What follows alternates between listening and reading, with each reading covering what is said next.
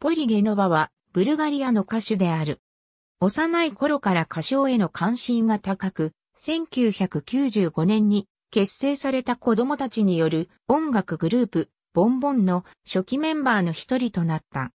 2005年と2006年にはトリオ、メロディの一員としてユーロビジョンソングコンテストの国内選考に参加している。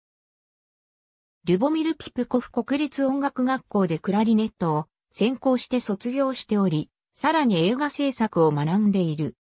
国際連合児童基金のチャリティ企画、ベリコレプナタシェストルカの一翼を担い、また、アジス賞に出演、ダニミレフバンドと共に、リアリティ番組、ブルガリアダンシングスター第1回にも参加した。2011年2月、楽曲 NAE ネットにより、ユーロビジョンソングコンテスト2011のブルガリア代表に選ばれ、2011年5月にドイツのデュッセルドルフで行われる同大会に出場した。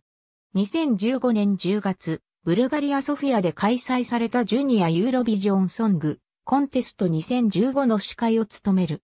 2016年3月、ブルガリア国営放送の内部選考により、ユーロビジョンソングコンテスト2016のブルガリア代表に選ばれた。